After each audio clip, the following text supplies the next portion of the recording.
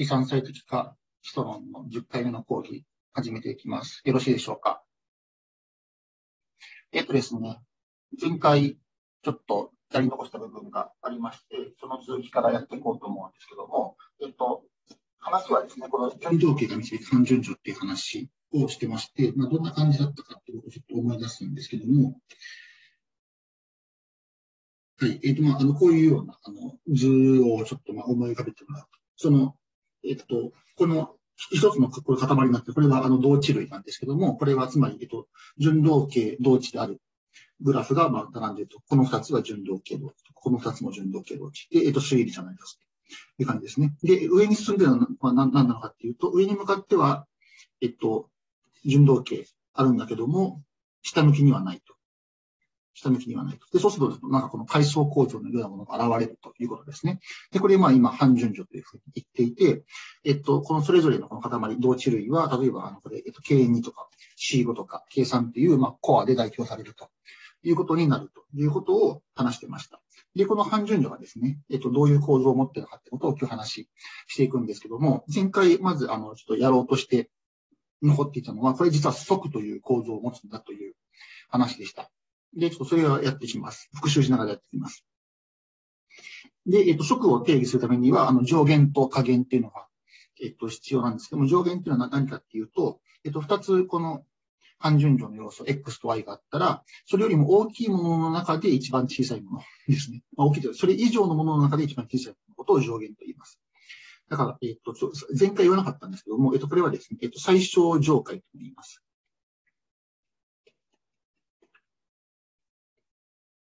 最小上階とも言いますけども、えっと、まあ、結びとも言ったりしますけども、何かというと、これ定義ですね。だから、まあ、その、えっと、次を満たす Z のことなんですけども、それは Z は何かというと、えっと、X 以上であり、かつ Y 以上であると。でなおかつ、その X 以上、Y 以上であるような W っていうのを2位に持ってきたら、Z と W を比べると、Z は W 以下になっているということですね。だから、えっと、この X 以上であり、かつ Y 以上であるものの中で一番小さいものっていうのが上限であると。ということでした。で、えっと、上限っていうのは存在すれば、えっと、一つしかないということを、え前回で証明したつもりでおります。これはその半順序の性質から言えるということですね。で、えっと、同じように加減っていうのがあって、加減は、えっと、先ほどの言い方で言うと、これ最大価解とも言えるもので、その X と Y の、X と Y 以下のものの中で一番大きいものですね。だから、今、次を目指す Z と言ってるんだけども、その Z は X 以下であり、かつ Y 以下であるんだけども、そのような条件、その X 以下であり、かつ Y 以下であるような任意の W と比べると、Z は W 以上になっているというのが加減、交わりというものだったということですね。で、えっと、加減の方も存在するならば、ちょうど一つ、ただ一つになるということを、えっと、まあ、証明はしてないんだけども、その上限の場合と同じように、えっと、証明できます。ということを前回言いました。で、このですね、だからこれ存在すればって言ってるので、まあこれ存在しない場合もあるわけです。で、まあ存在しない場合っていうのは、まあこういうものでありましたよってこともこれ前回ちょっと、えっと、説明したんですね。で、その即と言ってるのは何なのかというと、即と言ってるものは何なのかというと、えっと、これはですね、任意の X と Y に対して、その X と Y の上限と下限が両方とも存在するもののことを、存在するような単順序のことを言います。はい。ですね。で、えっ、ー、と、ここでちょっと、あの、記法がさらっと書いてあって、これさらっと書きすぎていけないんですけども、えっ、ー、と、X と Y の上限のことを、このまあ、X ジョイン Y っていうんですかね、と書いて、X と Y の加減のことを X ミーと Y と書くということをします。なんかあの、この、なんだろうな、この尖ってる記号ですね。これはあの、なんだろうな、えっと、論理にしか使わない、その論理で言う、これはあの、オアでえっと、右の方はこれ、アンドであるっていうふうに皆さん、あの、勉強したと思うんですけども、まあ、それはそれであるんですけども、この半順序とか、この即の文脈では、えっと、別の意味でこの記号を使うと、上限と下限という意味で使うってことはちょっと注意してください。まあ、実はですね、その、あの、命題論理の、その、アンドやオアと実は、まあ、あの、対応しているというような、えっと、解釈もできるんですけども、ちょっとそれについては、あの、この講義では使わないので、えっと、まあ、別のもんだと思っていてください。はい。で、ここまでが、一応復習なんですね。いいですか？ちょっと早いかな。まあ、毎回早いので早いかなとかって言ってきながら全然緩めるつもりでいないのはいけないんですけども、えっと、こんな感じですね。で、えっと、やるのは、この、えっと、順動形が作る半順序というのは実は即ですよ、ということを今から紹介していきます。はい。それがこれですね。おっと、はいですね。えっと、任意のグラフ、G と H に対して、この G が作る、あ G の、えっと、属する、えっと、同値類ですね。と H の属する同値類の上限っていうのと下限っていうのが存在するということを言います。ですね。つまり、この半順序、この順動形から作られる半順序は速を導くということになります。はい。で、えっ、ー、と、実際にですね、これはあの構成します。G と H でグラフがあったら、そこからこの上限と下限構成します。で、どう構成するのかというと、まあ、こんな感じで先に結論を言うとこうなります。えっと、G と H の上限、ジョインは、この G プラス H で作られる同値類になります。で、G と H の加減ですね。交わりの方は、えっと、G×H という積が作る同値類になります。で、この和と同、えっ、と、積はですね、えっ、とだ、だいぶ前の方でやったんですけども、じゃ今からこう復習しながら、これ証明しろ、しようと思いますので、それやっていきます。じゃあ、まずこの和の方からやります。和とつまりこの上限の方ですね。上限の方からやっていきます。で、和は何だったか、これ復習ですね。復習。これは何回目ですか第5回目ぐらい。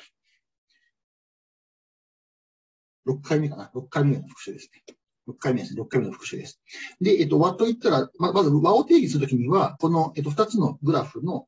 えっと、頂点集合は、えっと、共通要素を持たないということを仮定しています。で、その時に、この、えっと、和集合ですね。合併で頂点集合を定義して、変集合も合併で定義するというのがこの和でした。だからなんかこのイメージとしては、この G と H というグラフがバラバラにあって、それをまあ一つに集めたものっていうのが G プラス H です。いう、まあ、そういう、えっと、イメージを持ってほしかったということですね。で、これが和です。で、和は、まあ、いろんな性質を持っていたんですけども、それも、えっと、第6回の時に、えっと、紹介したものもありましたし、今から新しく紹介するものもありますので、それをやっていきます。で、えっと、これは復習で、これはじ、あの、すでに紹介したもので、えっと、G と H があったときに、今言ったように G プラス H が作れるんですけども、G から G プラス H には、順動計画がありますよ。で、H から G プラス H にも順動作動ありますよというのが、この一つ目の性質です。まあ、これは、もうそもそもこの G っていうのが G プラス H の部分グラフなんですよね。だから部分グラフなので、まあ、それを部分グラフ、その部分を取ってくるような、まあ、埋め込みというか、まあ、そういう、えっと、順動形を、まあ、作ることができるわけです。H の方も同様ですね。だから、この性質成り立つということでした。まあ、これ復習になります。はい。これ後で使います。で、もう一個使う性質があって、これですね。えっと、三つグラフ、GH、X 出てくるんだけども、えっと、G から X に順動形作動があって、H から X に順動形作動があったら、G プラス H から X にも順動形作動がありますよということです。まあ、これはその、まあ、この絵のイメージを見てもらえば証明も、まあ、そのままできて、今、G、H、X と三つグラフがあるんですけども、この赤いのが G から H への順動形作動。で、青いのが H から X への順動形作動です。で、それを、えっと、まあ、重ね合わせると、G から H、あ、G プラス H から X への順動形作動も作れるということになるわけです。だからこれ正しいということですね。いいですか？ですか？はい。いいですかね。で、えっと、次に、えっと、紹介するのは、えっと、この第6回の授業では扱って、今まで扱ってなかったんだけども、まあ、あの、見れば正しいということはすぐわかる、えっと、性質です。それ何かというと、今、こう4つグラフがあります。G、H、G プライム、H プライムと4つあります。で、えっと、G から G プライムに順動形作動があって、まあ、この状況ですね。で、H から H プライムに順動形作動があると。こんな感じ。の時に、は G プラス H から G プライムプラス H プライムにも順動差がありますよ。だから今、この図で言うと、この、まあ、左側のグラフ、こ並べたものが、これが G プラス H ですね。で、右側のグラフ、これ並べたものが G プライムプラス H プライムですね。だから、この G から G プライムへの順動形作像と H から H プライムの順動形作像をまあ合わせれば、G プラス H から G プライムプラス H プライムへの順動形作像が作れますと。ということをまあ言っていると思ってください。だからこれも正しいわけですね。これ正しいです。まあ、ちゃんと証明書かないですけども、まあ、これ見れば正しいことかるということですね。よろしいでしょうか？うん。あ、これ、割とね、あの、ちゃんと書こうとすると、ややこしいんですけども、まあ、まあ、図を見れば正しいことするようになるという感じですね。で、この3つの性質を使って実際に、えっと、今から証明したいことは、えっと、G と H が作る同値類の上限というのは、えっと、G プラス H の作る、えっと、同値類になるということですね。これを証明したい。ただこれ証明するには何を証明すればいいかっていうと、一つは、えっと、だからこれは、えっと、上限であるってことを証明すればいいので、上限の定義にある二つの性質を満たすってことを言えばいいわけです。で、まず一つ目は、えっと、G と G プラス H を比べたら、G プラス H は G 以上であり、H の方も H が、G プラス H が H 以上である。ということを言う。これが一つ目ですね。で、もう一つは何かっていうと、G 以上のであり、かつ H 以上である X っていうのを持ってきたら、この X と G プラス H を比べたら、X が G プラス H 以上になる。この二つですね。この二つを証明すれば、えっと、G と H の上限が G プラス H になるということがわかるということになります。で、この二つを証明していくわけです。で、そうするとですね、例えばですね、この上の方ですね、上の方を証明するにはどうすればいいかっていうと、例えばですね、この G の方ですね。これ証明するにはどうすればいいかっていうと、えっと、G プライムっていうのを、この G の同値類から持ってきて、えっと、かつ、えっと、どうしようかな？X、X はまずいかな。えっと、えっと、そ Z っていうのを、えっと、人間に G プラス H から持ってきたら、えっと、G プライムと H プライム、あえっと、Z、Z、Z プライム、Z プライムの間にこれ対象関係があるということが言えればいいわけです。っていうことが言えればいいわけです。うんこれはその同値類、同値類の定義を思い出すそうです。で、えっと、この G プライムが G の、えっと、同値類に含まれている。だからどういうことだったかっていうと、えっと、G プライムと G が、えっと、順同系同値であるということでしたね。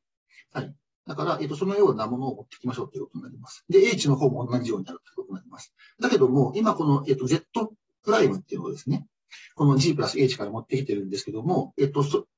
G プラス、えっ、と、そうなんですけど、じゃあこれをちょっとちゃんとやっていきますね。えっ、と、そのつもりでやっていくと、ちょっとこれ今計算なくて、これは次に進みたいですね。それをやってみます。で、そうすると、えっ、と、何、えっ、と、このようにようにやりましょう。じゃあ、えっ、と、G プライムっていうのを G の同調同調軸から持ってきて、H プライムっていうのを H から、H の同調軸から持ってきましょうと。でそうすると、えっ、と、G プライムプラス H プライムっていうのは、えっ、と、G プラス H の同値に入っています。で、これは、えっ、と、性質3先ほど言ったものからわかります。なんでかっていうと、今言った通り、えっと、この G プライムが G の同値に入ってるっていうのは、これ G プライムと G が順同系同値であるというふうに言ってるわけです。で、H プライムの方もそうですね。これ H プライムと H が順同系同値だってことを言ってるわけです。で、このことから先ほどの性質3っていうのを使うと、何がわかるかっていうと、G プライムプラス H プライムっていうのは、えっと、G プラス H の順同系同値だということがわかります。いいですか？ということなので、えっと、この性質が得られるということになります。ですかね？で、一方で、この性質1っていうのがあって、何かっていうと、えっと、G プライムと G プライムプラス H プライム。H プライムと G プラス、あ、G プライムプラス H プライムを比べると、このような順度形があるとわかります。ですね。これ先ほどなんかその埋め込んでるっていうふうな、埋め込んでるじゃないな。えっと、部分グラフであるって性質が出てくる話ですね。っていうのはわかるということになります。で、そうすると、えっと、G、G のど、えっと、同値類が取ってきた任意の G プライムに対して、この G プラス H に入っているあるグラフに対してこの順動期があるってことが言えてるので、えっと、G プラス H に入っている任意の、あの、えっと、同値類に入っている任意のグラフに対しても、えっと、このような順動形があるってことがわかるわけです。えっと、順動形同値性から。ということで、えっと、G の同値類は G プラス H の同値類以下であるということがわかります。で、同じように H の方も言えるという形で、ここまでの証明が終わります。いいですか？で、これがその前半ですね。えっと、上限であることの第一の、えっと、性質を確認したということになります。じゃあ、二つ目の方をやっていきますね。二つ目の方。二つ目の方は、えっと、この任意のグラフ X を考えて、X の同値類と、えっと、G の同値類、H の同値類の大小関係あると仮定します。そうしたらまたこの X の同値類から、えっと、グラフを持ってくるわけです。X プライムしますね。でそうすると、この代償関係がありますから、G プライムから X プライムへ同値、えっと、順動系作動が存在して、H プライムから X プライムに向かって順動系作動が存在するということがわかります。で、そうすると、性質2番ですね。その、えっと、なんか、えっと、順動機を重ね合わせると言っていたやつですね。ささっきの図のイメージで言うと、G プライム、H プライムがあって、X プライムがあって、なんかこういうイメージですね。であったので、G プライムプラス H プライムから X プライムへも順動下差を存在するということになるわけです。ですね。ってことは、えっと、G プラス H の同値類は X の同値類以下であるということになるということがわかります。ですね。で、これがその、えっと、上階である、あるいは上限であるための第2の、えっと、性質が証明できたということになります。いいですか？ですかで、これで証明全体として終わるということになります。これがその上限の方の話ですね。はい。だから上限はこの和で定義されるということになります。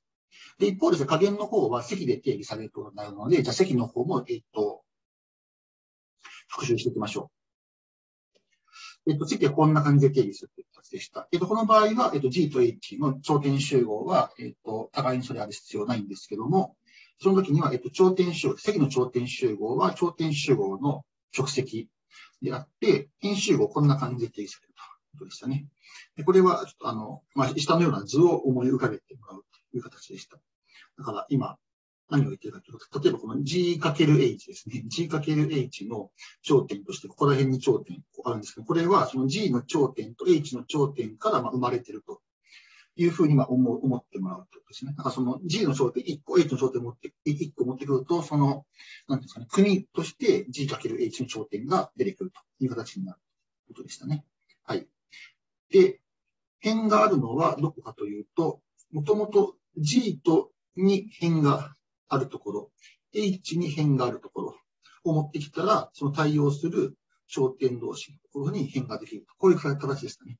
うん、これがその、編集語の定義の方で書かれていることになります。いいですか？ちょっとこれは、えっ、と、思い出すのにちょっと時間がかかるかもしれませんけども、こんな感じだったということですね。で、積の方にもいろんな、えっ、と性質があったわけです。で、それ紹介していこうと思います。えっと、まずこれですね。えっと、積から G へ、積から H への、えっと、順度計算度が存在しますという形でした。で、これは、えっと、えっと、この第6回目の講義の時には、えっと、謝礼という言葉も出したと思うんですけども、まあ、謝礼という形の、えっと、順度計算度がある。だから例えば今この G×H っていうコマグラフがあるんだけども、これをそのままなんかこう、下に謝礼してあげると。謝礼してあげると H ができると。で、えっと、これ左に遮影してあげると G が、こんな感じだったわけですね。うん。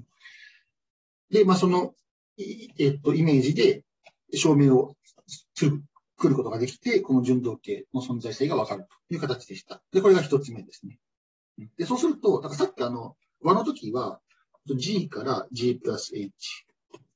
H から H、あ G プラス H で、こういう風な形の、えっと、順動形があるっていうふうに言ったんですけども、だから、その、まあ、順動形のあり方がこう逆なわけですよね。逆っていうのは、演算を施した方から GH に、えっと、順動形があるという形に積の方ではなっていると。和の方では GH から演算を施したものに向かって順動形が存在するということになっているので、まあ、それからも、この、なんか代償関係ですね。まあ、その、半順順の代償関係が、この積を取ると、なんか小さくなって方向に進んでいくんだなっていうイメージが、なんかここからわかるかなという気がします。はい。で、これが、えっ、と、一つ目の性質で、で、二つ目の性質、えっと、これも復習になりますけども、何かというと、これですね。えっと、X から G に順動形があって、X から H に向かって順動形があるんだったら、X から G×H に向かって順動形もありますよ、という形でした。で、これ下はイメージ図で、まあ、G と H と X っていうのがあるんですけども、今、この X から G に向かって順動形ありまして、X から H に向かって順動形ありますと、こういう状況を書いています。で、この時には、えっと、G×H に向かっても順動形が作れますよっていう形になっています。で、これ、まあ、これ実際どう作ればいいかっていうと、この X が G に向かっている順動形と X から H に向かっている順動形を組み合わせることで作れると。そうですね。こういう形になっていると。だから何を言ってるかっていうと、えっと、何を言ってるかというと、えっと、X から G に向かっている順動径車上では、えっと、この2つの頂点に、X から移った先があるわけですね。で、H の方に向かっていくところでは、この2つの頂点に向かっているという形になるわけです。あ、この書き方あんまり良くないかな。えっと、この書き方を書き換えますと、えっと、X の上の頂点は、この G の上の頂点、H の左の頂点に移っていって、いっていて、X の下の頂点は G の真ん中の頂点、H の右端の頂点に移っていってるという形になっているわけです。で、この時には、えっと、この移っていった先同士の、この丸で移った先同士に対応する G プラス H の頂点がこうあるわけです。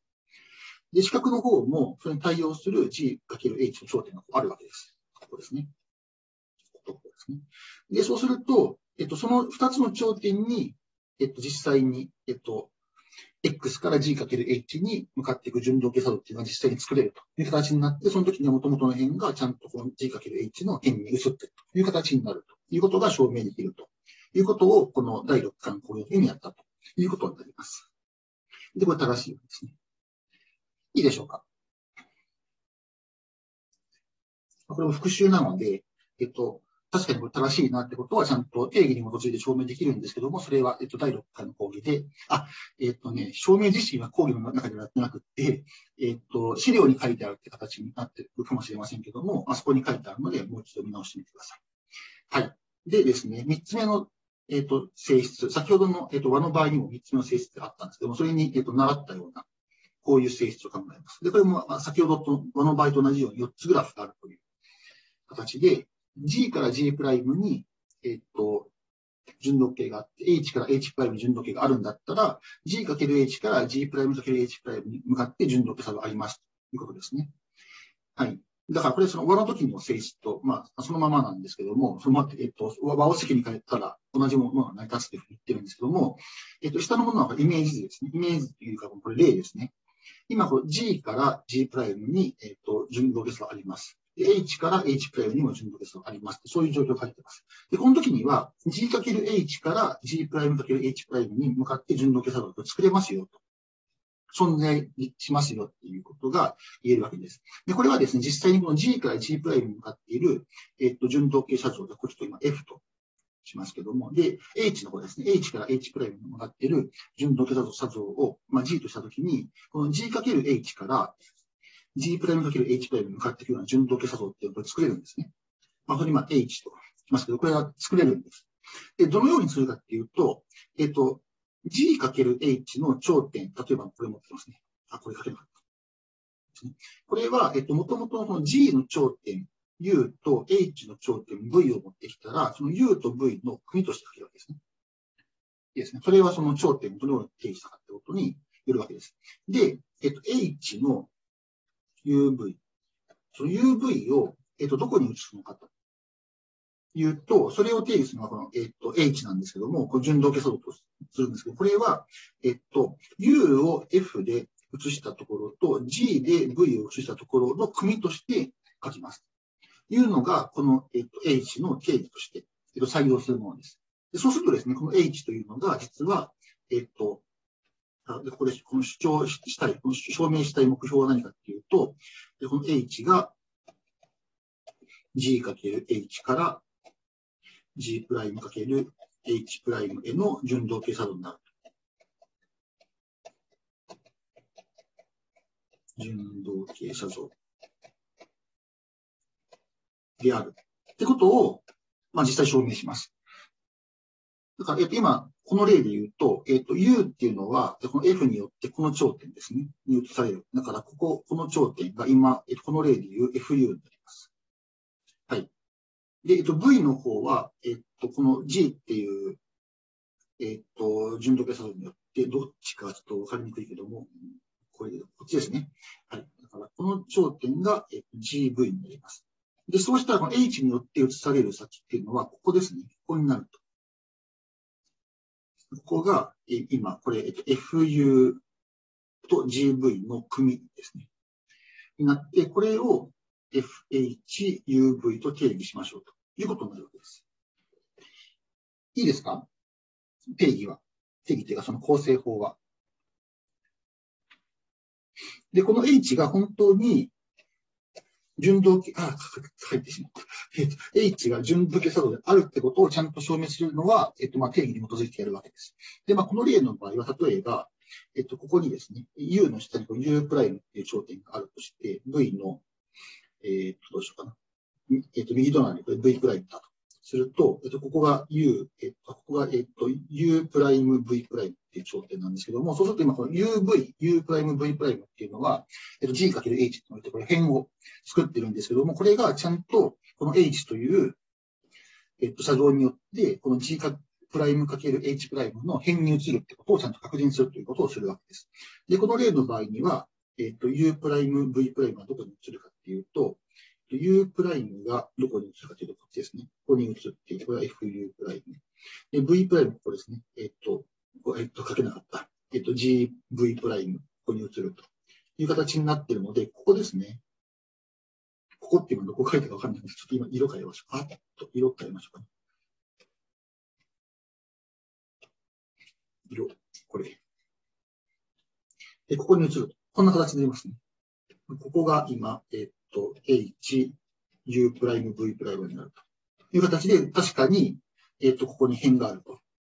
いう形になってるわけですね。だからその辺が辺に移るっていう形のことが、この場合も言えるんですけども、えっと、まあ、今、まあ、この例では言えたんですけども、成り立ってるんですけども、えっと、一般的に、えっと、これ証明できます。一応証明は次のページに書いてあるんですけども、次のここです。に書いてある、書いてあるんですけども、ちょっと、えっと、目がチカチカするんで、えっと、皆さんちょっと自分で読んでいただければと思うんですけども、えっと、確かにこれ、えっと、見てもらうと、えっと、今作った H ですね。これですね。今作った H っていうのが、えっと、純同居作動であることがわかります。ので、ちょっと、ここは、えっと、皆さん、えっと、自分で見てみてください。はい。ということで、今、この1、2、3っていう、えっと、性質を、えっと、紹介してきたんですけども、これを使って、確かにその積というのが加減になるということを証明していきます。で、証明の流れは先ほどの場の場合と同じで、これですね、この2つですね。まず、その積が G と H 以下になっているということを証明するということと、G と H 以下である X というグラフを持ってきたら、X がこの積以下に必ずなるということを証明するということをやってきます。で、ここ今、あの空欄になっているところを埋めるんですけども、ここに書くことは先ほどの和の場合とほぼ同じです。ほぼ同じなので、まあ、皆さんあの自分で考えてもらっても、まあ、あの埋められると思いますし、まあ、そうでなかったら、こうまあ、見てもらえば、同じようなところが書いてあって、そこから、えっと、正しいことがわかるという形になります。で、これによって、えっと、積の方が、えっと、加減を作るんだってことがわかると。いうことになって証明が終わります。ちょっと細かいことは言わないんですけども、えっと、流れは先ほどの和の場合、上限の場合と同じであるというふうに思ってください。いかがでしょうか？いいでしょうか？ちょっと端折ってるなっていう気はするんですけども、ちょっと、えっと、これは前回の部分の残ったところなので、あんまり時間を使いたくないなっていう気がしていて、でもそれでもですね、30分ぐらい確かに使ってしまったなと思うんですけども、はい。いかがでしょうか？じゃあ、えっ、と、これによって、確かにこの順動形から導かれる単純力則であるということが分かったということになります。で、えっ、ー、と、ここまでが、えっ、ー、と、前回の残ったところの話で、で、えっ、ー、と、今日、えっ、と、やっていきたいことは何かというと、えっ、と、これよりもですね、えっ、と、細かい、えっ、と、構造が実際この順動形から導かれる単純序にあるので、それを見ていこうということをします。では、えっ、と、今日の資料の方に行こうと思います。で、これですね。で、え、っと、この構造っていうのはもう少し今、今考えているこの順動形が導く単純序の構造をより深く見ていきましょうということになります。でですね、まず、えっと、初めにやりたいのはですね、この、えっと、佐藤、佐藤半佐っていうこの話題になります。で、まずですね、えっと、佐藤半佐っていうのが、えっと、単純序、単純序においてどういうものなのかっていう一般論から話をします。で、もしかしたら、今日はこの半差までで終わりかもしれない。ちょっとこの最後のこの中密性までちょっといけないかもしれない気がしてきたので、えっと、まあ、また残ったら、えっと、次回に持ち越しという形にしたいと思うので、えっと、無理に終わらせようとは思わない形でやっていこうと思います。はい。でですね、じゃあ、あの、半順序における差と反差、何なのかということを言ってきます。で、えっと、考えるのは、まあ、一般論なので、一般的に、まあ、集合 X と X 上の半順序があるとします。で、この時に、この半順序における差。これ差ですね。差と読みます。差。えっと、差というのは、えっと、次を満たす X の部分集合 C のことです。はい。で、何かというと、この C に含まれている C の要素である任意の X と Y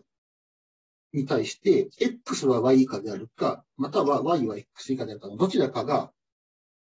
まあ、えっと、成り立つ。まあ、同時に成り立ってもいいんですけども、えっと、どちらかが成り立つ。ってことを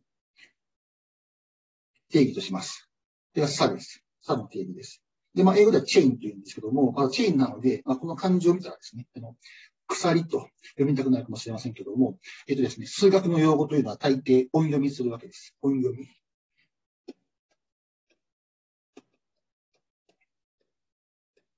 音読みします。ので、これはさと読みます。で、あの数学の用語を大抵音読みするっていうのは、これまあ非常に重要な教訓ではあるんですけども、えっと、だからこの場合もさと読むんですけども、まあそれはちょっと置いといて、で、実際に、えっと、下の方は書いてあるのは、これは例ですね。で、これはあの、半順序集合をあの図で表しているようなイメージなんですけども、ある、ある半順序ですね。なんですけども、で、その時にこの今、黄色く塗っている3つの要素があるとします。で、この3つの要素からなる集合を C としましょう。ですね。だから、例えばじゃあこれを今、じゃあ A、B、C として、えっ、と、C として、ラージ C として A、B、C というのを取っていきましょうというふうにします。そうするとこれは差です。なんでかっていうと、A と B は、えっと、を見てみると、えっと、A は B 以下になってます。いいですね。A は B 以下になってます。ここに、えっと、矢印ありますからね。で、B と C を比べると、こう、あの矢印たどって B から C に行きますから、えっと、B は C 以下なわけです。ですね。で、そうするとですね、えっ、と、半順序っていうのは水星がありますから、えっ、と、A と C の間にもこういうふうな関係があります。ですね。だから、A, A から B を通って C にたどり着けるわけです。ですね。で、えっ、と、実は、えっ、と、この、えっ、と、定義において忘れてはいけないのは、えっ、と、A と A を比べてもこういう、えっ、と、関係があるし、B と B を比べてもこういう関係があるし、C と C を比べてもこういう関係があるということは、まあ、一応確認する必要があって、えっ、と、まあ、これはですね、いわゆる、えっ、と、半順序の反射性から、えっ、と、いつも必ず成り立つというものになっているわけですね。で、これによって、えっ、と、どのような二つの要素を取ってきても必ず、どちらかの向きの、えっ、と、代償関係があると。つまりですね、任務の2要素は比較可能であるということが言えるので、これ差であるという形になります。この例はいいですか？例あるいはその定義はいいですか？いいですか？はい。でそうするとですね、この半順序にはたくさん差があるなってことがわかるわけです。今この、えっと、A、B、C っていう3要素を取ってきて差を作ってますけども、まあ、例えばですね、こんな感じで4要素を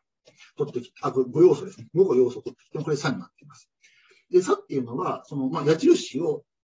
辿っていくことで、まあ、すべて、えっと、辿れるというか、すべて覆い尽くせる。まあ、そういうものが差であるというような、まあ、イメージを持っていただいてもいいかなというふうに思います。そうするとですね、この1要素だけ、1要素だけっていう、えっと、部分集合、これも差になります。それはですね、この条件を満たすからです。で、えっと、じゃあ差ではないものと例を見ますけども、これ、この3要素ですね。この3要素を持ってくる。これは差ではないです。えっ、と、この一番下のところから、この上の部分にはこうやってたどり着けるんですけども、この上の2つですね。上の2つは、えっ、と、どちらの比でもないんですね。ここちらを A として、こちらを B とすると、A は B 以下でもないし、B は C、えっ、と、A 以下でもないと。こういう形になっています。で、これは何かというと、つまりその A から B に向かって、矢印をずっと辿って、A から B に向かって矢印をたどっていけないし、B から A に向かっても矢印をたどっていけないって、そういう形になっています。ので、この場合は、えっと、えっと、だから、えっと、これは、えっと、なんだろう、差ではないと。ということになります。いいですか？だから勝手にあの部分集合を持ってくれば差になるというわけではないということですね。はい。で、これが差です。で、差、差のこの条件の部分をですね、まあ、否定するというか、この部分ですね、この部分だけですね、この部分だけ、全体を否定したらいけませんけども、えっと、この部分だけを否定してしたものを、にも名前がついていて、それはですね、えっと、反差と言います。これ反差ですね。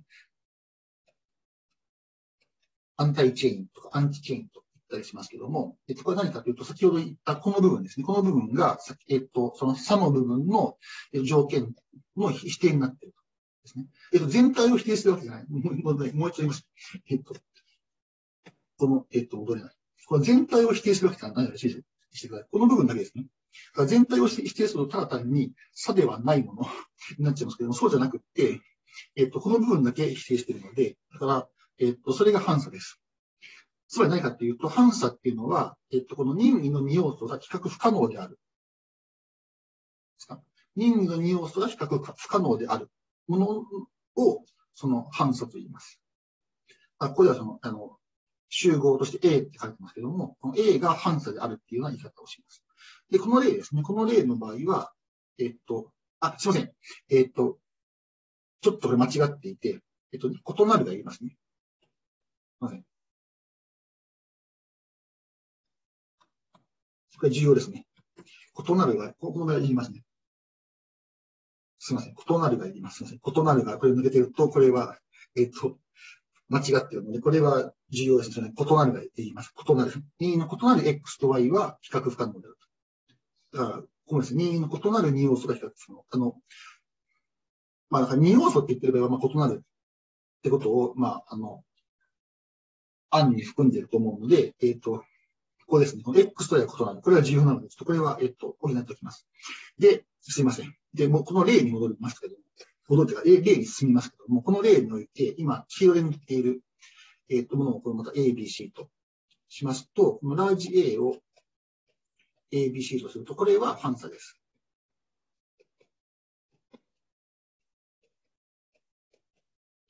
反差です。で、なんでかっていうと、この A から B に向かって、この矢印だけを通ってたどり着けないんですね。だから、えっ、と、A は B 以下でもないし、B は A 以下でもない。B から A にもたどり着けません。ってことが、えっと、B と C の間、C と A の間にも成り立ちます。だから B は C 以下ではないし、C は B 以下ではない。で、A は C 以下でもないし、C は A 以下でもない。こんな感じになってるんです。でそうすると、ここに書いてある条件が成り立ちますから、反数であると。いうことが言えます。いいでしょうか？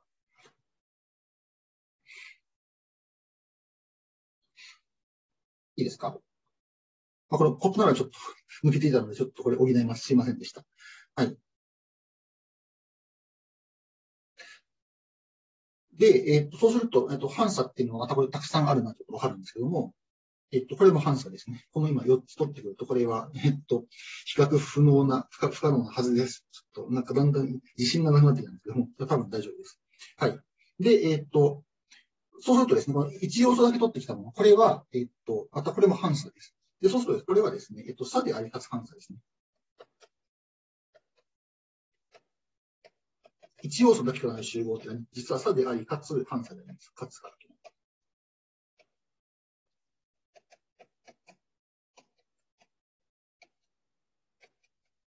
かつ反差があります。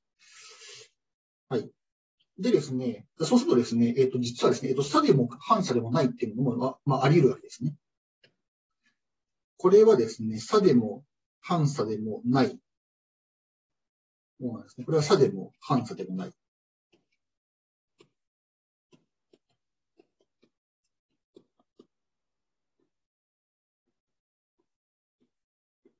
で、なんでかっていうと、えっと、今じゃこれ A、B、C と書きますけども、えっと、A と B は比較不可能です。つまりその A から B に矢印だけ辿っていくことできないし、B から A にも矢印だけ辿っていくことできないです。G と見てもらうとそうなっていると。ってことなので、何かっていうと、このことから、えっと、差ではない。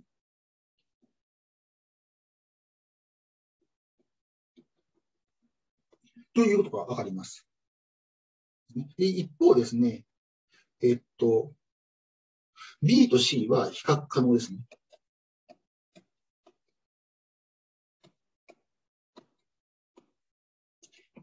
なんでかっていうと、えっと、C から B に向かって矢印があるからですね。だからこれ C は B 以下になってるわけです。ってことは、えっと、比較可能な2つの要素があるので、この任意の2要素が比較不可能っていう性質が成り立たないわけです。だから、これは反差ではない。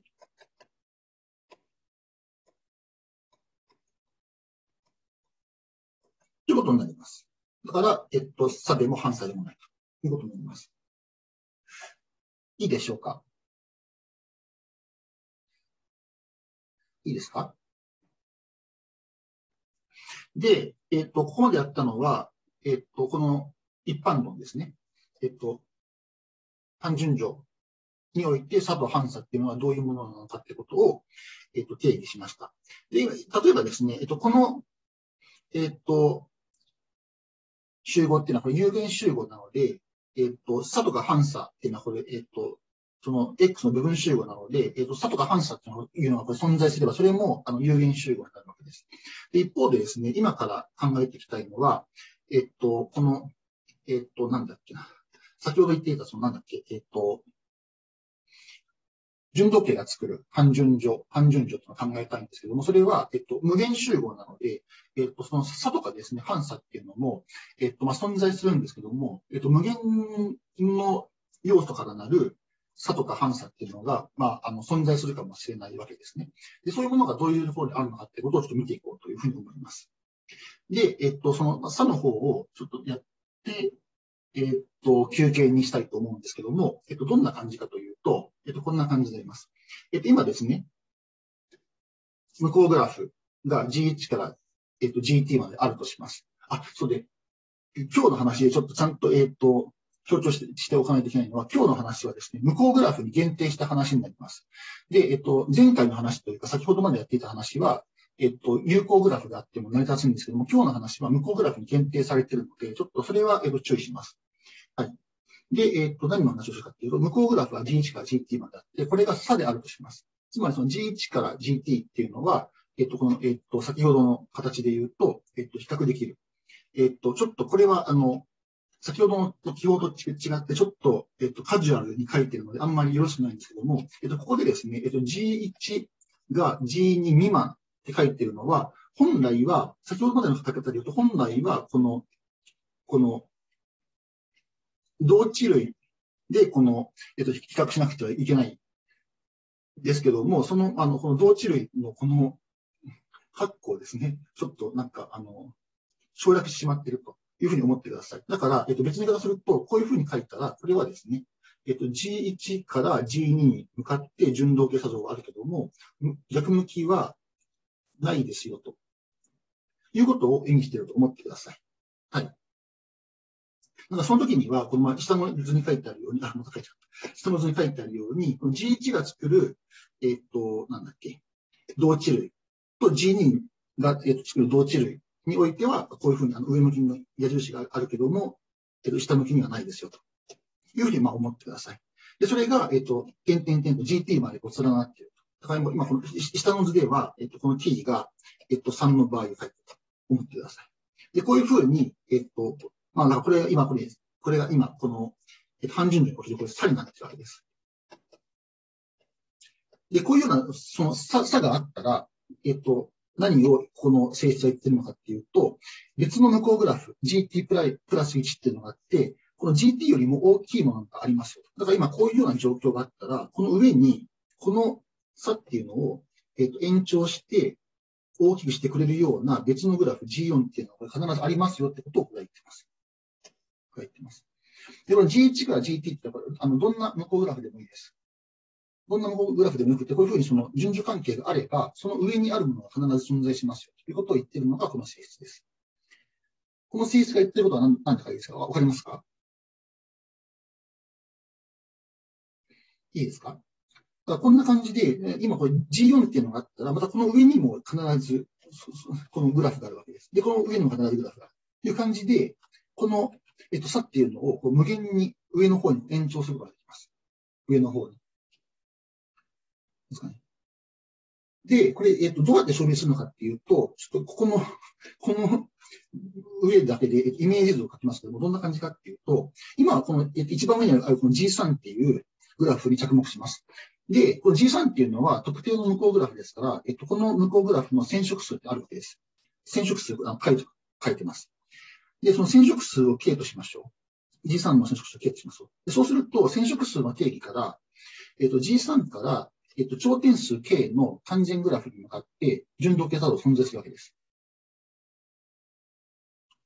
でそうすると、この、えっと、KK、頂点数 K の、えっと、完全グラフが作る、えっと、同値類に向かって、こういうふうに矢印があるということがわかります。でそうしたら何を考えるかっていうと、この K を一つ大きくした、えっと、K プラス1個頂点を持つ、えっと、グラフを考えましょう。えっと、グラフっていうのは、えっと、完全グラフを考えましょう。で、そうすると、そこに向かって、この KK から、えっと、矢印があるということがわかります。いいですか？で、そうすると、この矢印の水星から、この G3 からこの KK プラス1のところに向かって矢印があるということがわかります。で、この時は何をすればいいかというと、この、えっ、と、G4 として、この KK プラス1っていうのを選んであげればよいということになって、証明が終わるということになります。で、まあ、これをその一般性を持って、えっ、と、書いてあげると次のページの証明になります。とすればいい。よろしいですか？これでまあ証明なんですけども、えっと、これを一般的に書くと次のページの証明になります。よろしいでしょうか？で、まあこんな感じで、えっと、どんどんどんどん上に作れていくということになります。じゃあ一応証明書くとこんな感じになります。こうですね。えっと、しまった。あ、いいですね。合ってますね。えっと、一番上の、その今考えているグラフですね。この GT ですね。GT、GT、GT の、えっと、染色数を K とします。で、この GT よりも上にあるグラフを、えは、この K を一つ大きくした K プラス1個頂点を持つ完全グラフとします。ということですね。で、そうすると、えっと、先ほど言った通り、GT からこの K, K プラス1に向かっていく矢印があるということは言えます。簡単に言います。で、問題はですね、逆向きがないってことを言わないといけないんですけども、逆向きがないってことは何かっていうと、えっと、GT プラス1から GT に向かって矢印がないってことを言う必要があるんですけども、それはここに書いてある通り、逆向きがあるとすると、これ矛盾するわけですなんでかって、で、何に矛盾するかっていうと、K、K プラス1から KK に向かって矢印がないってことにします。で、なんでかっていうと、これ矢印があるとすると、ここですね。その過程をちょっとこうなります。で、上にはですね、GT から KK に矢印あるというふうに言っているわけなので、そこ、そここういうふうにかけます。で、そうすると、えっと、このことから、えっと、GT プラス1から、えっと、KK に、えっと、矢印がある、あと、順動計算があるってことが言えちゃうんだけども、今、この GT プラス1っていうのは、えっと、K、K プラス1だというふうに、えっと、定義したわけなので、これは K、K プラス1なんです。で、そうすると、ここに書いてある矢印の方向性は、この、えっ、と、矢印ありませんよっていうことと、互いに矛盾するということになって、えっ、と、証明したかったことを証明できるということになります。ということで、えっ、と、この結論が得られて証明が終わるということになります。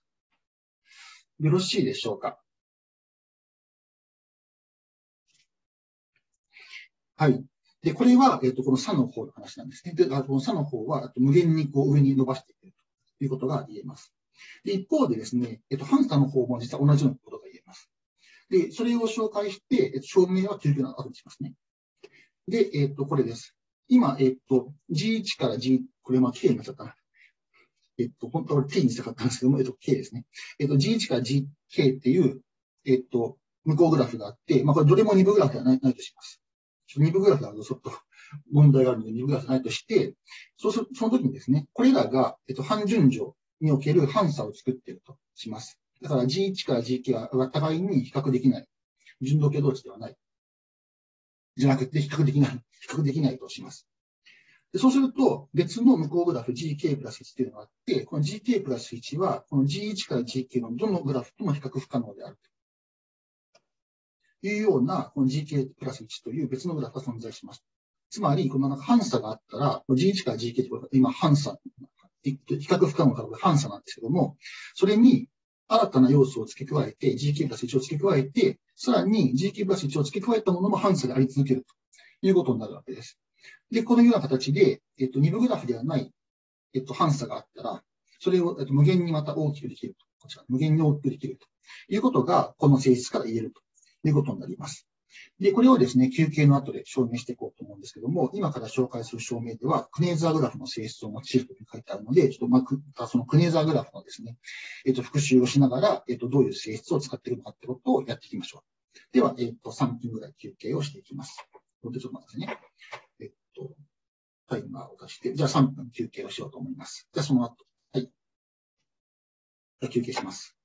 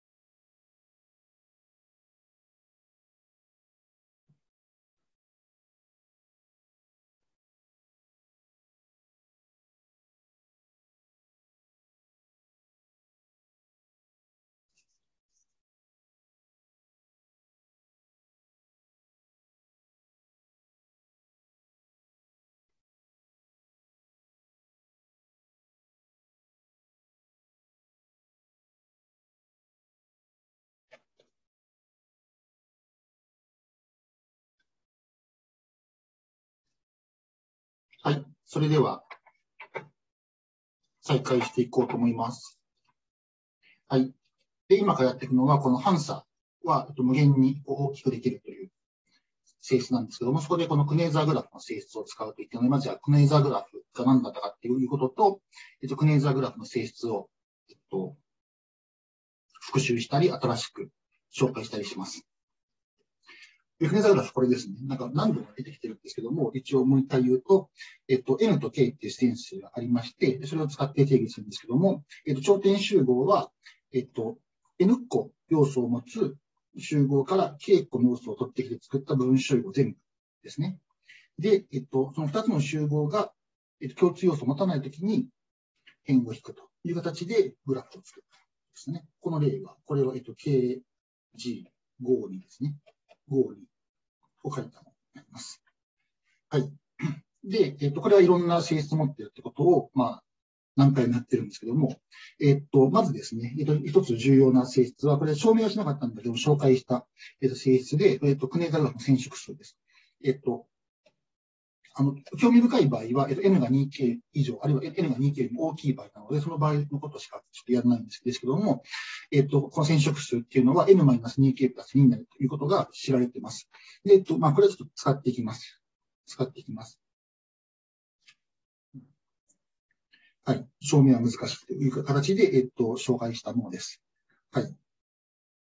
で、えっ、と、もう一個ですね、えっ、と、紹介したいことがあって、それはですね、今後使っていく話なんですけども、まあ、ここに書いてあることは、フネーザグラフそのものとは関係ないんですけども、これ、えっ、と、グラフの機内集ですね。機内集。機内集っていうのは、えっと、グラフ G が含む非平路の最短長です。非平路の最短長ですね。今、このグラフですを G とすると、えっと、この機内集が3です。で、ちょっと、えっと、今後のためにですね、えっと、機内集、この OG っていう記号で、えっと、表すことにします。オッドガラフですからね。オッドガラフなので、OG で、えっと、機内集を表すことにします。で、もう一つ注意はですね、えっと、機内集っていうのを定義するときには、えっと、その考えているグラフというのは、まあ、向こうグラフなんですけども、二部グラフではないというふうにします。二部グラフの場合には、えっと、地平路存在しないので、えっと、この最短上っていうのが、まあ、定義できないことになっちゃうわけですね。だから、えっと、機内集を考える場合には、それは必ず、えっと、二部グラフではないグラフを考えているというふうに思ってください。はい。で、えっと、機内集と順動経営作像には、えっと、重要な、えっと、関係があったっていうのは、これはですね、えっと、2回目の講義で、えっと、やってると思うんですけども、えっと、二部グラフではない向こうグラフ G と H があって、G から H に順動結動があったら、機内集の間に対象関係がある。そうですね。えっと、機内集が小さなものから大きなものに、えっと、順動結動を作れませんよというのが、この、えっと、性質が言ってることです。で、これも、えっと、第2回の講義の時には、これは、証明したものになっています。はい。で、これも、えっと、今日使ってきます。はい。で、もう一個、その、第2回の講義の時に、えっと、紹介したものが、この非順動系古代っていうもので、これがよく使ってるんですけども、えっと、G から H に順動系作動があって、H が頂点解だったら、IG っていう、まあ、これは、えっと、独立比と呼ばれてたものなんですけども、えっと、独立比の間に対象関係がありますよということですね。で、まあ、独立比は何だったかってことは、ちょっと思い出す必要はあんまりなくて、えっと、次の成立だけを今から使ってきます。何かというと、まず、クネーザーグラフは頂点解です。これ重要ですね。これは、えっと、証明しました。で、この i という独立比は、クネーザーグラフに対しては n 分の k。で、えっと、これ、奇平路ですね。長さが奇数の平路。2L プラス1個頂点がある、えっと、平路の場合には、この独立比っていうのは 2L プラス1分の L になりますよというふうに言ってます。なので、例えば、えっと、C2L プラス1から、えっと、KG、このクネーザーグラフですね、NK に向かって、えっと、順独作動が存在するならば、何がいるかっていうと、この、えっと、独立比の関係から、えっと、2L プラス1分の L っていうのは、えっと、N 分の K 以上だということがわかるということになります。えっと、それは、えっと、クネーザーグラフが頂点解だからですね。ということが成り立ちます。えっと、この関係を後で使っていきます。で、えっと、これを使ってですね、何を、えっと、言いたいかというと、実はですね、えっと、クネーザーグラフの機内集の破壊が得られます。これですね。えっと、N は 2K よりも真に大きいとします。えっと、そうじゃないとですね、このクネザグラフ、えっと、2部グラフ、2部グラフでないためには、N が 2K よりも大きくなる必要がありまして、で、その時に、えっと、このクネザグラフの機内集が定義できて、その機内集がここに書いてある数値以上になります。で、実際はですね、えっと、これ、あの、今ここでは不等号で書いてますけども、実際はこれ等しいです。で、今からはこのまあ等しいことまでは証明しないんですけども、えっと、これがこの不等式を満たす、不等号を満たすということだけを証明していきます。で、実際にはこれ何をするかっていうと、今この KGNK っていう今グラフがあるわけですね。フレーザーグラフが。で、この中に分グラフとして存在する1、2、3、4、5、2個ですね。えっと、この、えっと、騎兵路を1個取ってきます。騎兵路。で、まあ、これ騎兵路だから、まあ、C2L プラス1かこういう形で書けるわけです。で、えっと、騎兵路が存在したときに何を証明するかっていうと、証明すること何かっていうと、この L が、ここに書いてある、えっと、n-2k 分の k の小数点切り上げ以上になるってことを言います。これを言います。でそうすると、この 2a プラス1ってこの、えっ、ー、と、平の長さがここに書いてある、えっ、ー、と、もの以上になるわけですね。だから何を言ってるかっていうと、この、えっ、ー、と、クネイザーグラフに騎兵路が含まれているとすると、その騎兵路の長さはここに書いてあるもの以上に必ずなりますということがわかるわけです。でそうすると、一番短いもの、一番短い騎兵路を取ってきてもこれ以上なんだから、えっと、機内集はここに書いてある数値以上になるということになります。という形で証明を行っていこうと思います。この性質が何を言ってるかっていうことと証明の方針はいいですか？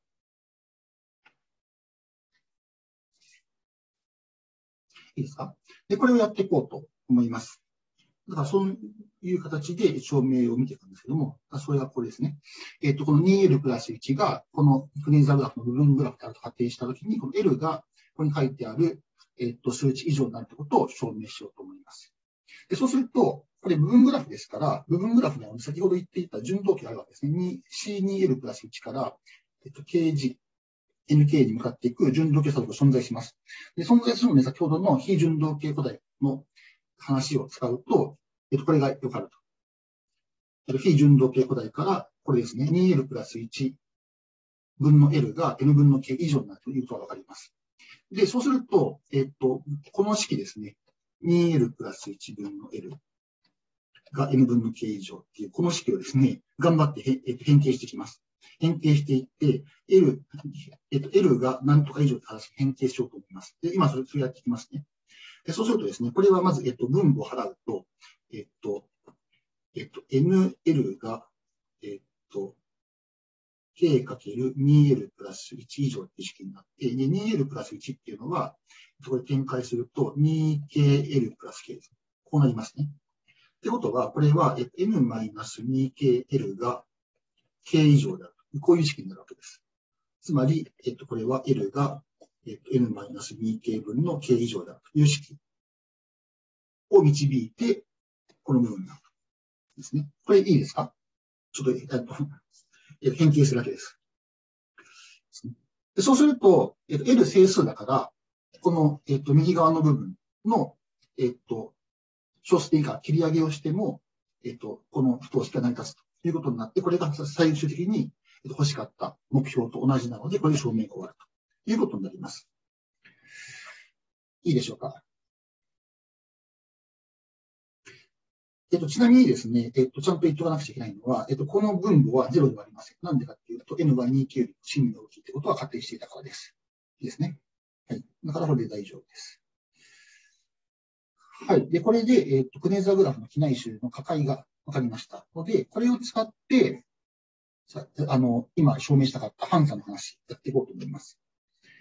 あ、その前に、そうだ、これがあった。えっ、と、その話から、えっと、今、えっと、機内集の、えっと、価解を与えたんですけども、そこからですね、これがわかります。で、これが重要です。えっと、これをですね、今日というか、えっと、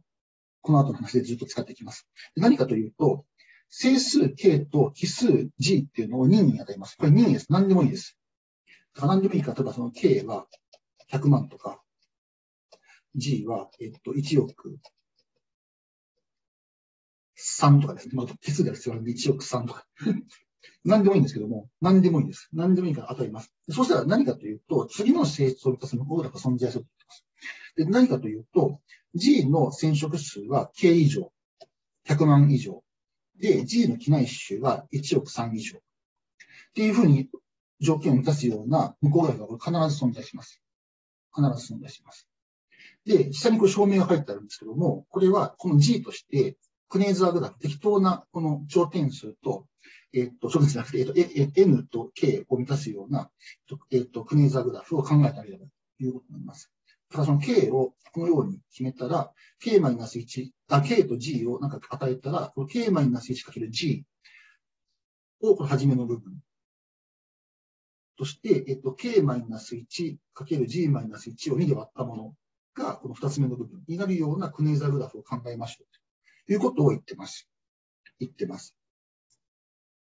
いいですか？で、えっと、g はこれ奇数なので、これ 2, で割ってますけども、g-1 がこれ偶数なので、これでちゃんとこの後ろの部分、これ整数になります。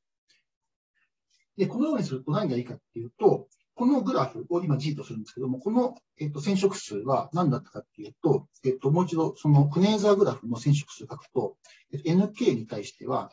これは N-2K プラス1でした。だから今この N の部分が K-1×G で、K の部分がこれですから、それそのまま古代にしてこれ計算してます。から、えっと、K マイナス、ちょっと色変えた方がよかったですね。色変えた方がよかったんで、色変えますと、この部分、こうですね。なので、この部分がこの部分で、こうこうですね。だからこれで、その、m-2k プラス1って、そういう形になってるわけです。で、これちゃんと計算してあげると、これ k になります。だからこれ、これ実は染色数は結局、これ、あの、k 以上って言ってますけども、えっと、上では k 以上って言ってますけども、この計算ではイコール k になります。一方でですね、機内臭の方も先ほどの式ですね。先ほどの式。先ほどの式。これですね。これを、えっと、使ってあげると、えっと、ここが N に対応する部分で、K に対応する部分がここですね。で、これで、えっと、計算してあげてると。で、これも計算すると、えっと、G になるってことが、えっと、これは、あの、まあ、確かにあります。確かめられます。で、まあ、ここは今、あの、不統合になってるんですけども、実際はこれ、あの、イコールになります。実際はイコールなんですけども、まあ、この、えっ、と、性質においては、えっ、と、不統合であるという性質しか使ってないので、えっ、と、これで十分になるということで、証明が終わるという形になります。いいですか？だから何を言ってるかっていうと、任意に K と G を与えたら、それよりも染色数と機内種が大きいグラフっていうのが、クネーザーグラフを使うと作れるということになるということになります。で、このようなグラフを今から使って、反差を大きくしていきましょうということをしようと思います。ここまでいいですか？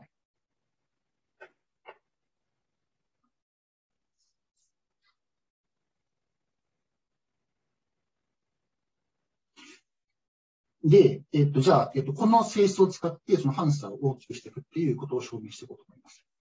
証明するとこれですね。えっと、G1 から GK までは、えっと、反差、どれも比較不可能なんだけども、それらに対して GK プラス1というグラフを使って、作って、それも、えっと、この G1 から GK とは比較不能であると、比較不可能であるということを言いたい。で、そのために先ほどの、えっと、性質を使います。で、どうするか。こんな感じにします。今、えっと、この K と G っていうのを次のように定義します。で K っていうのは、今、その初めに与えられている G1 から GK の染色数の最大値。とします。で、一方で、えっ、と、この G の方は、この G1 から GK の機内集の最大値とします。いいですか？これを K と G とします。で、この時に、G として、先ほどの性質にあったように、えっと、染色数が K プラス1以上で、内周が G プラス1以上の向こうグラフとします。で、そのようなグラフっていうのは先ほどの性質が必ず存在するわけです。いいですか？で、そうすると、この G っていうのを、この G を GK プラス1とします。っていうのが今からすることです。で、えっと、ここに書いてあることを確認します。この時次が成り立つ。G から G1 点点点 GK には、えっと、純度計作動、作動存在しません。なんでか。それはですね、今この G っていうのを見ると、この G の染色数っていうのは、この上に書いてある性質から、これ K プラス1以上なんです。いいですか？で、ここに書いてある通り、今、じゃあ G から GI に向かって順等級作動が存在するとすると何が起きてるかっていうと、えっと、何が起きてるかっていうと、GI っていうのは、えっと、何かっていうと、ここに書いてあって、GI の、えっと、染色数の最大値が K なので、GI からえっと、頂点数 K の完全グラフに向かって、順応計作動が存在するわけです。いいですか？で、今この過程、G が GI、G から GI に向かって順応計作動が存在すると。すると、G から GI に向かってこれ矢印あるわけです。そうするとですね、ここからですね、G から KK に向かって、えっと、順動計算が存在するということがわかるわけですね。そうすると、このことから、えっと、G というグラフは、スモール形色で塗れるということが言えてしまうわけです。でそうすると、それは、えっと、染色数が K プラス1以上あることに矛盾するということになります。つまり、これは起きない。起きないので、純度計存在しないということになります。ここまでいいですかですかだから、このことによって、えっと、G から G1 点点点 GK には順度計算存在しないってことが言えたんだけども、逆側の矢印も存在しないってことが言えます。G1 から GK に向から G1 点点点 GK から G に向かっても矢印ありません。で、なんでかっていうと、G の、えっと、機内周が G ラインの機内周よりも大きいからです。それはこの、えっと、G の機内周が G プラス1以上だというのが言えます。で、これが言えるとなんで、これが、えっと、これっていうのはその G1 点点点 GK から G に向かって順動計算を存在しないと言えるのかっていうと、先ほど言っていたこの順動計算像と機内周の関係から言えるわけです。今ですね、この、えっと、OGI は OG 未満なので、この下に書いてある性質の、えっと、における H を GI として対偶を取ると何が言えるかっていうと、OG G が、あ、ちょっといけないな。えっと、G を GI として、えっと、H を G とすると、OGGI が OGG 未満であるならば、えっと、GI から G に向かって順動結素存在しないということが言えるわけです。で、これは、これ欲しかった結論と同じなわけですね。ということで、これを言えたということになります。ここまでいいですか？いいですか？だからこの G の染色数の内周も大きいということが重要なんです。両方とも大きいことが重要なんです。で、これによって、つまりこの G というのは、えっと、G1 から GK と、どれ、のどれとも、えっと、比較不可能だということが分かるということになって、まあ、所望の性質を満たすので、証明が終わるということになります。いいでしょうか？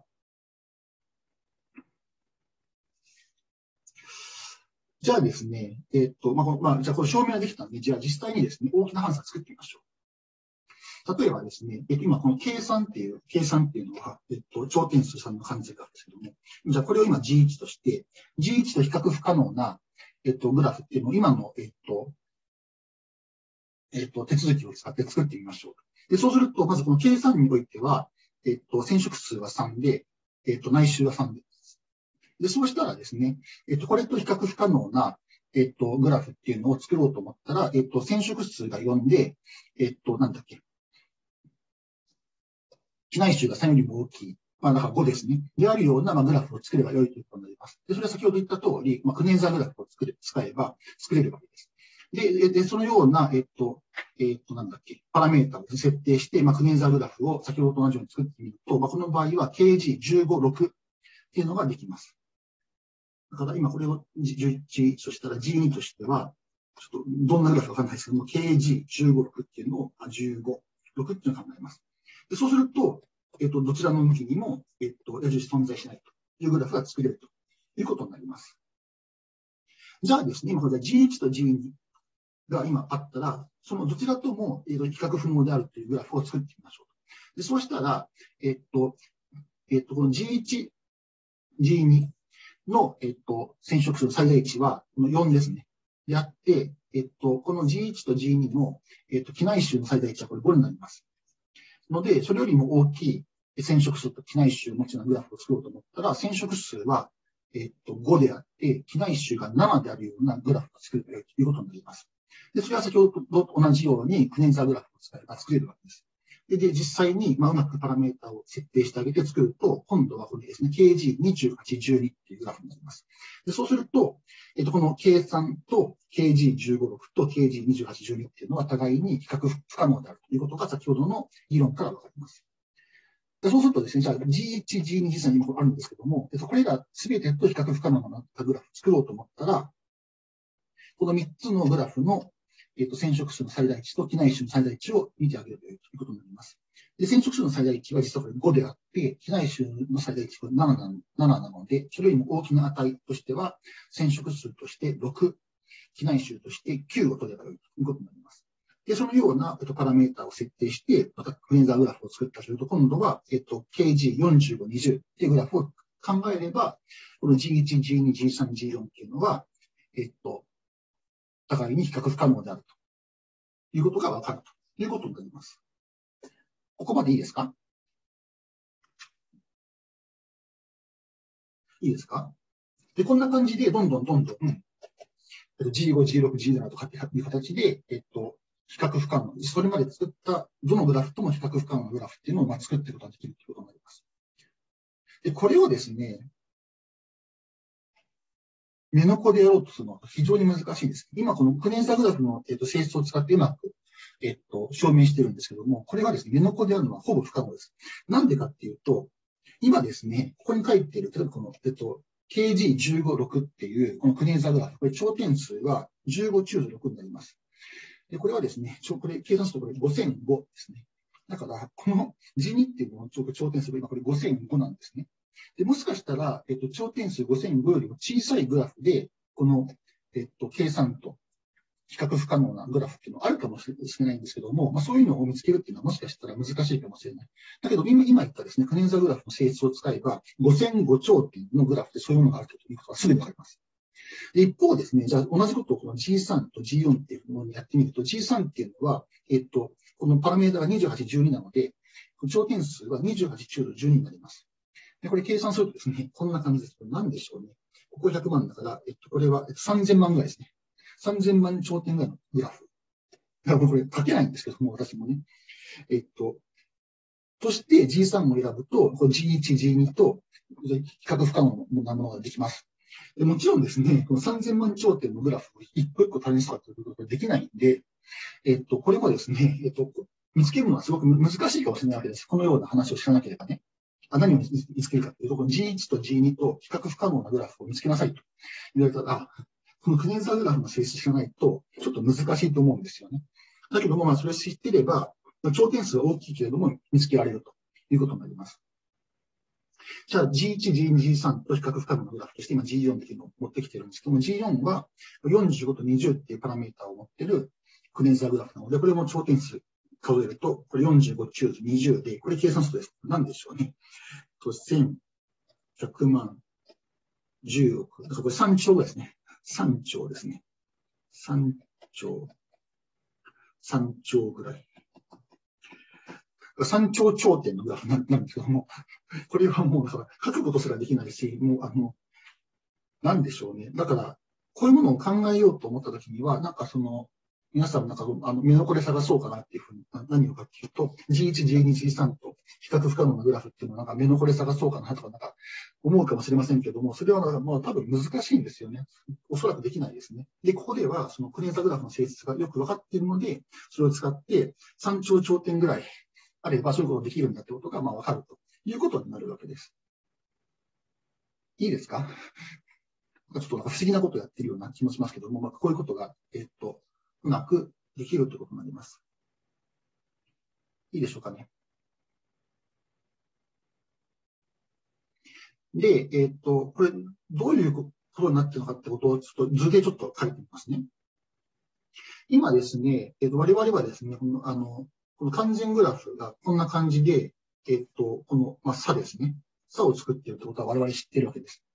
で、えっ、と、この計算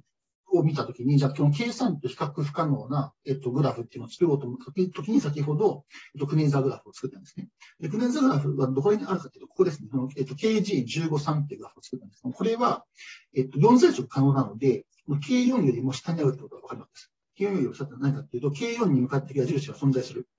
ってことが分かったわけです。だけども、K3 からこの KG153 に向かって矢印がないし、逆向きもない。っていうのはこんな感じになってるわけですね。で、今ですね、この黒い線書いてますけども、これは、えっと、染色数で、えっと、区切ってると思ってください。だから、KG153 っていうのは、えっと、えっと、染色数は4なんだけども、えっと、だから、計算よりも上にあるようなイメージがあるんだけども、実際は比較不可能。だからその計算から、その、えっと、なんだっけ、えっと、クネザグラフに向かっていく順動計算は存在しないということになってるわけです。ですね。で、じゃあ、この、えっと、えっと、この計算と KG153 っていうグラフがあったら、グラフがあるときに、この二つのどちらとも比較不可能なグラフを作りましょうと言って、先ほどやったのは何かっていうと、えっと、染色数は5のグラフを作っていたわけです。で、それはですね、ここら辺にあるわけです。KG28 12。で、これは、この、この、この3つのグラフですね。この3つのグラフが互いに比較不可能です。だから、どっち向きにも矢印ない。どっち向きにも矢印ない。どっち向きにも矢印ない。で、こういう形になってるんです。だけども、なんかその染色数が大きくなってる。そういう感じなわけですね。で、その次にやっていたのは、これよりも、えっと、この3つと、えっと、比較不可能なグラフっていうのを作ってたんだけども、それは、まあ、ここら辺になると。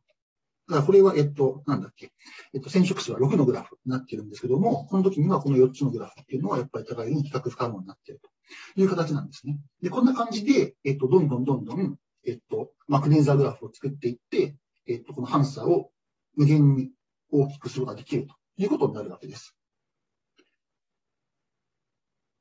いいでしょうか。まあ、だからこれが今、あの、証明でやっていたことのイメージになります。なんか不思議ですね。まあ、まあ、これを見て、あの不思議と思うかどうかっていうのは、ちょっと、あの、人によるかもしれませんけども、まあ、その、半順序の関係、半順というか、順動機が作る半順序の関係っていうのは、まあ、こういう構造を持っているということになります。はい。で、えー、っと、あとですね、この中密性っていう話をしたいんですけども、どうしようかな。えっと、じゃあ、証明はしないんですけども、どうしようかな。証明はじゃあ、あの、補足動画にします。補足動画にしようと思うので、えっと、そこで証明はしようと思うんですけども、えっと、どういう話なのかっていうことだけは紹介しようと思います。えっとですね、えっと、中密性っていう、中密っていう、えっと、読み方するんですけども、有理数全体が作る全順序中密であるっていう。どういうことかっていうと、まあ、数直線ですね。数直線があって、ここら辺に1とかですね、2とか3とか、まあ、ここら辺に0。で、こっち側に、ま、ま、マイナス1なんですけども、中密って何かっていうと、任意にですね、この2つの要素を取ってくれば、必ずその間にですね、えっと、有理数っていうのはまた存在するわけです。例えば、この場合は、0と1の間にこの3分の1っていう有理数が存在するわけですね。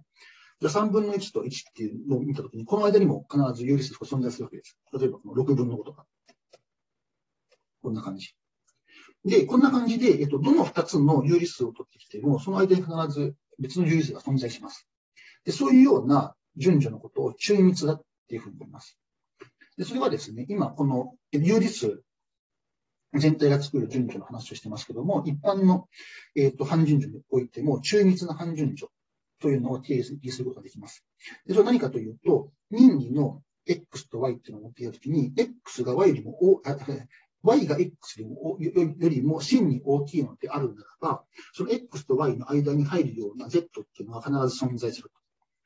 この z っていうのは、えっ、と、これは、えっ、と、ラージ x と知られていますね。っていう、えっ、と、性質のことを、えっ、と、中密な半順序であるっていうふうな形で言います。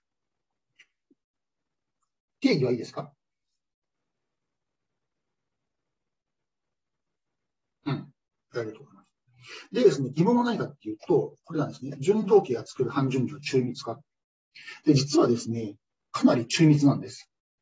かなり中密なんです。で、ちょっと、えっ、と、結論だけ言うんですけども、えっと、K1 と K2 の間は、実は、その中密になってます。だから K1 と K2 の間は、えっと、えっと、えっと、間には何もありません。えっと、順序で言うと、なんかその K1 が作る、えっと、同地類と K2 が作る同地類があるんですけども、この間には何もないです。他には、他には何もないです。だけども、実はですね、その他のグラフ、その他のグラフ、今、えっと、この G と H っていうのがあって、G と H っていうのがあって、えっと、G が H 未満であって、G が K1 じゃなくて H が K2 じゃないっていう条件が満たされていると、その間にあるような向こうグラフ、G と H のあの間にあるようなグラフっていうのは必ず存在します。必ず存在します。だからこの K1 と K2 以外のところは必ず中密になってます。もう、あの、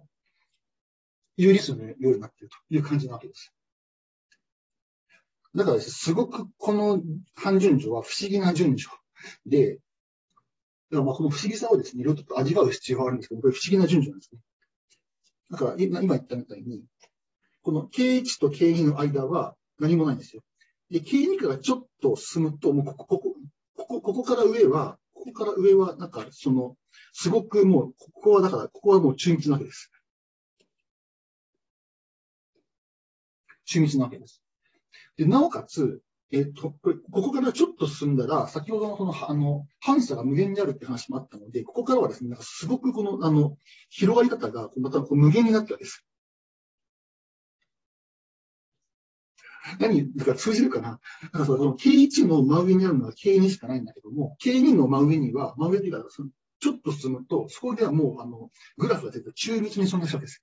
中密に存在していて、よだか横の広がりもなんかすごく無限にあるし、縦の方もなんか中密に存在してる。で、これはどこもこう中密なんです。どこも中密なんです。もう、絵に描けないんですけどね、なんか無限だから。っていうような感じの順序ですよ、と いうことがわかるんですよね。っていうのを言ってるのが、これです。これです。で、証明は、えっと、補足動画でやります。補足動画でやります。で、えっと、これはですね、あの、レルツルによって84年に、えっと、証明されたんですけども、まあ、この、あの、84年のこのレルツルの証明はちょっとややこしいので、えっと、その補足動画で紹介する証明は、えっと、ペアレスとミセトリルによって独立に与えられたと言われるものを使います。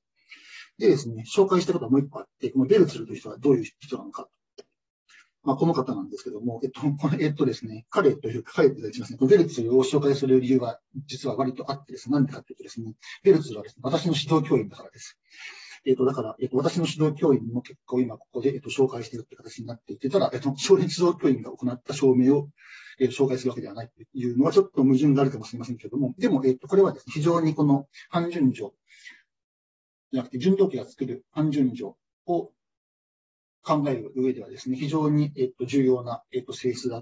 って、ぜひご紹介したいと思って、えっと、この時間に証明が収まればよかったんだけれども、そういう感じは全然しないので、えっと、補足動画でやりたいと思います。で、えっと、この証明の中ではですね、えっと、グラフのべき乗ですね。グラフのべき乗とかですね、積とか和っていうのをですね、使うんですね。で、割と、えっと、今までやってきたことをいろいろと組み合わせて使うという形の証明になっているので、えっと、味わい深い証明でもあるんですけども、それは補足動画の方でやりたいと思います。という形で、えっと、今日の授業はこれで終わりにしたいと思います。えっと、年内の授業はこれで終わりになりまして、えっと、年明けはですね、えっと、アルゴリズムの話をしていこうと思いますので、よろしくお願いします。はい。では、えっと、授業はこれでおしまいになるので、えっと、コメントですね、の方、今チャットの方にも出しましたので、えっと、書いて送ってください。えっと、コメントをですね、えっと、書いてこれる人がですね、えっと、すごく少なくて、えっと、寂しいので、皆さん必ずコメント書いて出していってください。よろしくお願いします。では、今日の授業はこれで終わりにします。ありがとうございました。